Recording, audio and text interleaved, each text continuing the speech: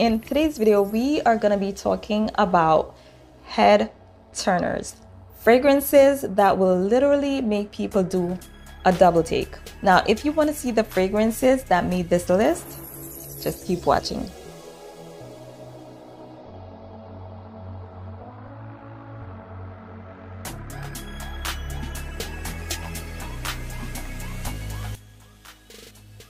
Welcome back and thank you so much for joining me. As promised, I'm going to show you guys some fragrances that will literally turn heads. Let's jump right into this video. The first fragrance that I'll be featuring on this list is from the house of Dolce & Gabbana and this one is called The Only One in Intense. I adore this fragrance. It's a beautiful scent, a very sexy, seductive, sweet, dark, mysterious, beautiful scent. The last time I wore this scent, I wore this by my mom's house. And as soon as I stepped in, the first thing that she said to me was, Damn, you smell good. What is that? So it is that kind of fragrance. It's the kind of fragrance that you will be complimented on and you'll definitely get noticed for this. There's no way you'll wear this fragrance and not have someone ask you what you are wearing. It is that kind of fragrance. It features notes of vanilla. We have jasmine, mandarin, we have coconut. Beautiful scent. So when you spread this out, you're gonna get that sweet vanilla right away. And of course, you're gonna get that beautiful floral note coming from the jasmine. You get a bit of a citric vibe from the mandarin. And for me, the star of the show, which is actually my favorite part of this scent, is that creamy coconut. It does dry down a little bit more earthy than I'd like, but it's still a beautiful scent and I really do enjoy wearing it. And I do get complimented on this fragrance. The performance on this one is really good. So if you spray this one on in the morning, you're gonna smell it throughout the day and into the night and even the next day, you'll still be able to smell this one on your clothes. I love the way this one makes me feel it makes me feel very womanly. It makes me feel grown up. It makes me feel special, sexy, established. It just makes me feel good. It's a feel good, sexy, seductive kind of fragrance that will definitely make heads turn. A beautiful scent. This is the only one intense and this is from the house of Dolce and Gabbana. The next fragrance on this list is from the house of Jean Paul Gaultier and this one is called Classique. This is Eau de Toilette. Listen, I know for the past couple of videos that I've done, I've been talking about this fragrance and that's because I really, really adore this fragrance. I think it is just super unique. I think it's stellar. I just think this is a masterpiece of a fragrance and I just don't think it could ever be duplicated or replaced or anything like that. I'm probably going to always have this one in my collection. It's just so beautiful. It's not even a fragrance that's new or anything, but I feel as though I just discovered this scent every single time I wear this fragrance, I detect something that I had never detected before in there. It's so beautiful. It's just amazing in my opinion. It does feature a lot of notes, but the notes that are most prominent are orange blossom, ginger, we have vanilla, star anise, we have cinnamon. So it does come off very clean and soapy, but it also has this very sweet, warm spiciness to it that is just so unique and just so beautiful. I think the combination of notes here are just so perfect. This is the kind of fragrance I would consider a masterpiece. This is just an iconic fragrance. It doesn't smell old. It doesn't smell dated. It just smells beautiful. Literally, every time I spray this fragrance, my husband goes freaking crazy. It's that kind of fragrance. It's super long lasting and it projects so nicely. The strange thing is that usually I'm not attracted to fragrances that pull oriental and I must say that the vanilla here does pull a little bit balmy so it does feel a bit oriental which does give it that mature feel, but it's just so pretty. It's just hard to think that you'd be able to walk by someone wearing the scent and not get some sort of reaction. Even if they don't say anything, they're thinking something because it's just that kind of fragrance. This is Classique EDT and it's from the house of Jean-Paul Gaultier. The next fragrance that I want to share with you guys is actually a celebrity scent. It's by Jessica Simpson and this one is called Fancy. This is actually one of the first gourmand fragrances that I ever added to my fragrance collection. And that's because years ago, you could not catch me wearing a gourmand scent.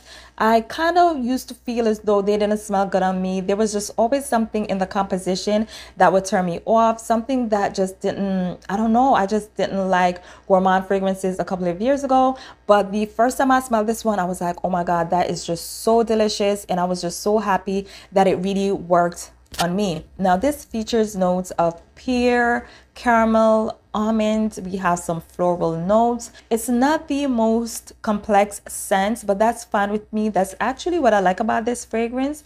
I like the fact that it is not pretentious. It just is what it is. It's not the type of fragrance to be taken too seriously. But I do love the trail on this one. It just leaves this beautiful, sweet, warm trail in the air. And that's the kind of fragrance that you want to wear when you want to turn heads. What I especially love about this fragrance is the performance.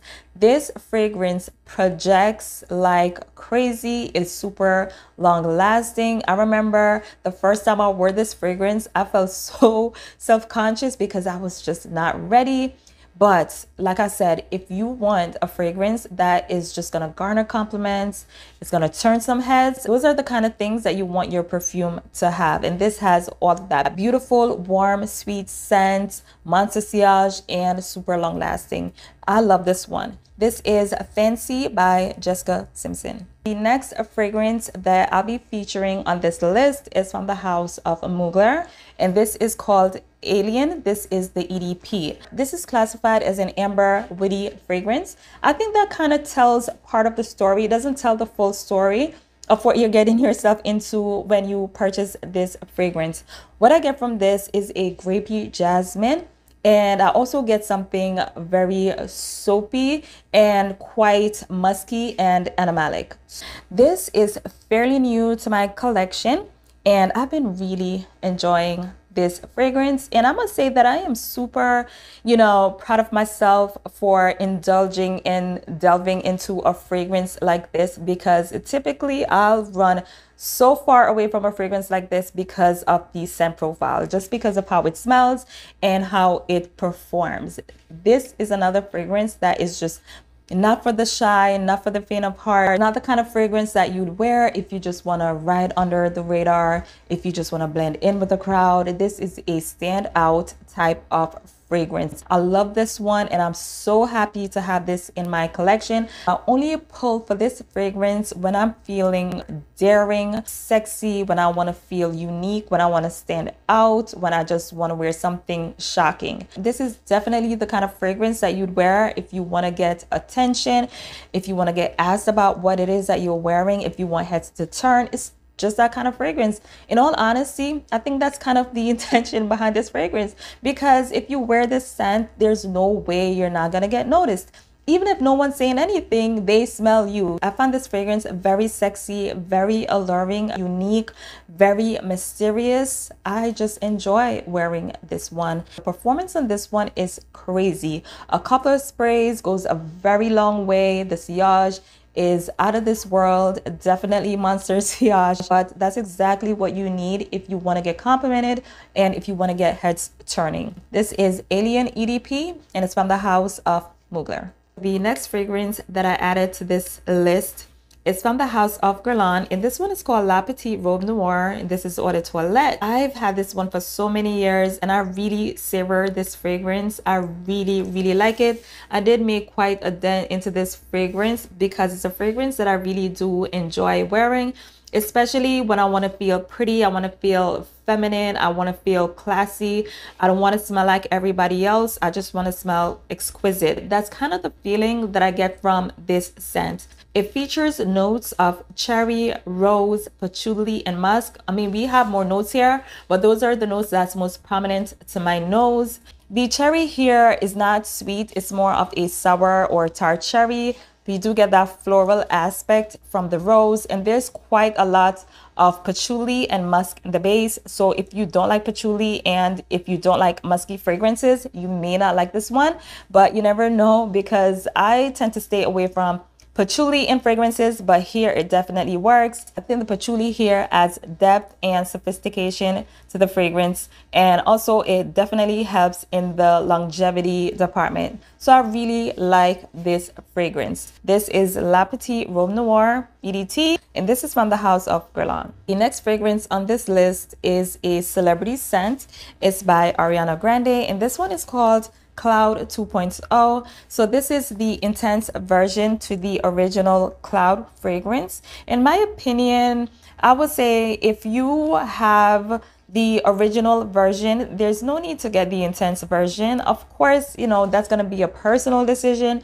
But in all honesty, I have both fragrances and I find them to be like pretty much alike with just minor uh, differences. But to me, they are like pretty much the same. This is an Ambroxan woodsy, musky, coconutty scent. It's quite sweet, a bit gourmand, especially in the opening. We have coconut, we have praline, we have whipped cream. Once it begins to dry down though, it does get very woodsy and musky and a little bit unisex in my opinion. Now, I for one don't really enjoy the base to this fragrance, but I know a lot of people like the base of this scent, but I just had to put that out there. This is a kind of fragrance that will definitely get you attention. Um, because of how strong this one is, I do like to wear it lower on my body and I kind of keep it away from my pulse points because I don't need it to be intensified any more than it's already intense. Now, I think if you're looking for a fragrance that is very sweet in a gourmand way, if you enjoy coconut, more so coconut oil, because that's kind of like what I get. The coconut here is more like coconut oil in my opinion. If you like fragrances like that and you don't have a problem with woodsy notes and you don't mind fragrances that are a little bit unisex, then I think you should definitely look into this one. If you're looking for attention, this will definitely get you attention. The next fragrance on this list is from the house of Michael Kors, and this one is called Mystique Shimmer. This is what I consider to be a unicorn. It does have a niche vibe to it. Smells pretty expensive this isn't going to appeal to a lot of people and that's because it doesn't really share the scent profile of a lot of fragrances out there. It smells quite unique. It's dominated by black pepper. We have saffron, we have woods, we have amber. So it's definitely unique. Now what I get from this is a spicy, woody, ambery type scent.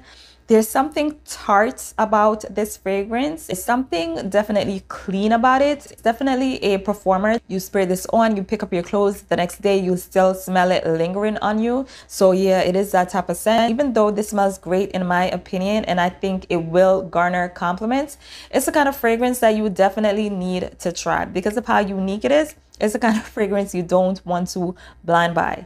Okay, believe me when I tell you that. But it's a nice scent and I do enjoy this one. This is Mystique Shimmer and it's from the house of Michael Kors. So the next fragrance on this list is from the house of Jean Paul Gaultier, and this one is La Belle. Now, I kind of feel bad for adding this one to the list, only because I feel as though it's such an overdone scent.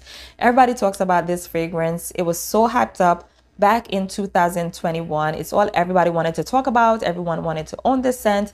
But honestly, that's because it is a beautiful scent. And I think when this one came out, we just didn't have much experience with fragrances that smells like this you have that sweet tart pear, that almost dusky vetiver note. We have the floral notes in the middle. The performance on this one is just stellar. So I think it just makes for the perfect scent when you're trying to get noticed. I like this one. It's not a love for me, but I know a lot of people go crazy about this one. And I could just imagine the amount of compliments you'll get wearing this one and the amount of attention you'll get wearing this one. Definitely a head turner. The next fragrance that I want to share with you guys is a fragrance from the house of Mancera. This is called Velvet Vanilla. This is one of the few um, niche fragrances that I have in my collection. When I purchased this fragrance, it was very intentional. I knew what I was getting myself into. I knew that it wasn't a cheap fragrance, but I heard so many people talking about this one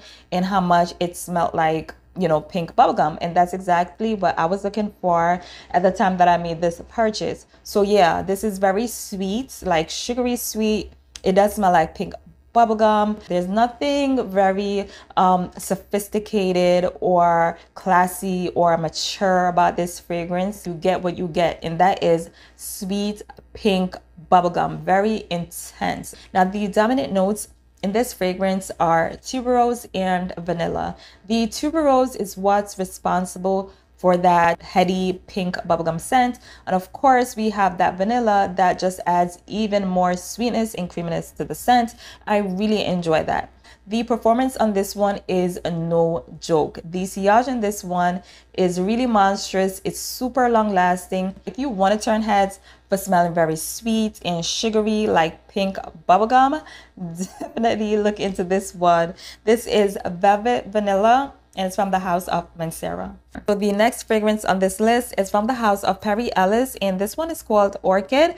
I really like this scent. I tried so hard not to add this one to this list because I feel as though I've been talking about this fragrance way, way too much. But that's because I really like this scent and I do think it is something special. And I do think that is something that will garner a lot of compliments and, you know, get heads turning. It is that type of scent. So what I get from this is a spiced purple berry type scent. The berries here are more tart than sweet. There's a bit of sweetness, but I feel as though I'm picking up more on a tart type scent. There's a bit of clean florals here. You could definitely pick that up. And I do get that earthy patchouli and musk in the base. So there's quite a lot going on, but I think it's a beautiful scent very well blended and I can't see how anyone would not do a double take if they smell this one coming off of you. This is Orchid by Perry Ellis. Okay guys, so that brings me to the end of this video. If you made it this far, don't forget to like this video. Please comment down below and let me know what fragrance you have that you consider to be head turners. Okay guys, so that's it for me. Bye.